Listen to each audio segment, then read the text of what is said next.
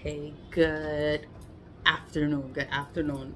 You know, I wanted to say, I wanted to say this. It's not, it's not hard to help people. You know, to help people when they're going through they, when they're going through spiritual warfare. It's not hard to help them. It's like it's so easy to help them. You can remove whatever you know, they could do it for themselves. You know, do a return to sender, do a spiritual baths, you know.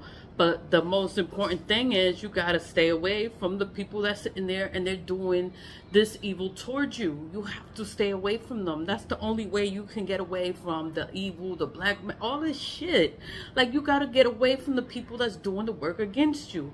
That's why it's hard to help people because they don't want to stay away from the people that is causing the harm onto them. And that's why, I don't know, you know, people keep doing the shit to them because they they keep falling back into it. They still want to be their friend. They still want to talk. They still want to fuck around. And it's like, yo, you can't be with this person if they're sitting there and they doing this shit to you. They're trying to hurt you. They're trying to ruin your entire life.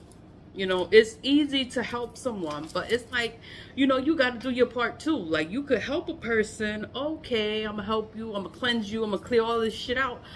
But you got to stop.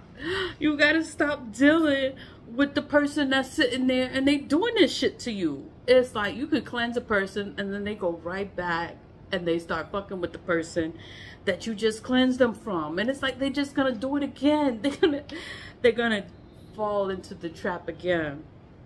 And it's the same thing with these love spells. These love spells. These people doing love spells on you.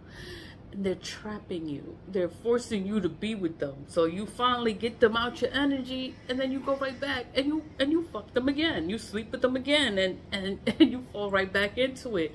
And it's like you'll never get away from it because you keep this energy around. It's like when somebody is sitting there and they're doing work on you, you have to get away. You have to get away from them.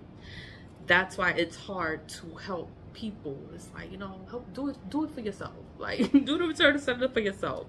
Like help yourself.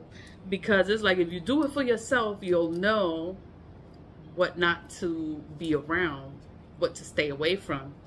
It's like you could be you could help a person but it's like they have to do their part too. They have to do their bath. They have to they have to stay away from the people that's sitting there trying to hurt them. And it's like that's the only way to get away get away from the work is to get away from the person that's doing the work. You're not supposed to speak to them. You're not supposed to talk to them. You're not supposed to text them.